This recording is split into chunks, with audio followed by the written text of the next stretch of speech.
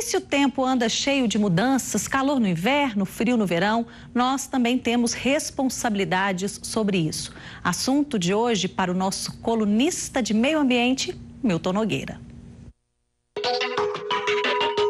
Veja só o paradoxo que existe na discussão mundial sobre direitos humanos, natureza. Até agora, em toda a ONU, as discussões envolvem empresas, governos, universidades, pesquisadores, ONGs internacionais.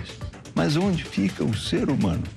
Essa resposta foi dada há três anos pela própria ONU através de um processo de longa discussão entre todos os países. É uma lista de coisas chamado Objetivos do Desenvolvimento Sustentável. Coisas boas que se pode fazer para cada ser humano aquelas coisas que cada ser humano deveria ter direito e ter disponível, acessível para cada um. São 17 objetivos para o desenvolvimento sustentável do ser humano.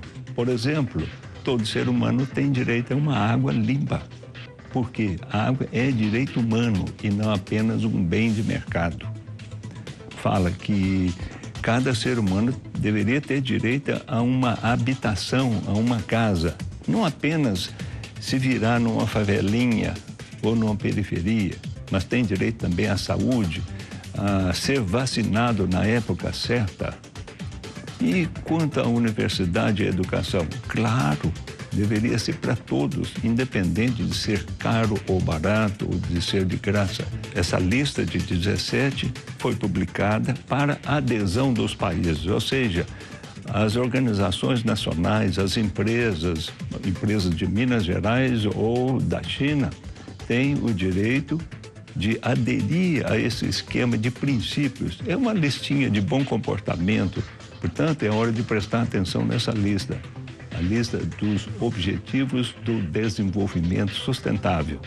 Ela é aquilo que alguém que quiser ajudar o ser humano individualmente, olha para essa lista é a primeira que põe o ponto de vista do cidadão, ou seja, aquilo que o cidadão deveria ter para ter uma vida razoável, uma vida que vale a pena ser vivida.